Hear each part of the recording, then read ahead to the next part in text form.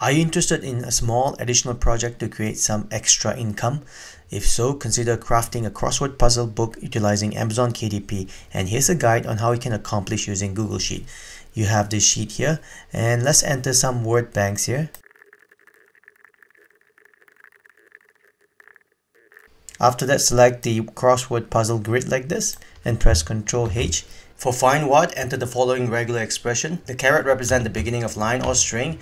Backward slash asterisk represent white space characters like tabs or spaces. And dollar sign represent the end of line or string. For replace weight, enter the following formula. The formula generates a random uppercase letter by creating a random number between 65 to 90 ASCII value of A to Z. Using random between and char converts the number into a character given the random letter.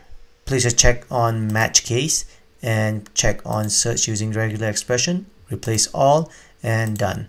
And you're completed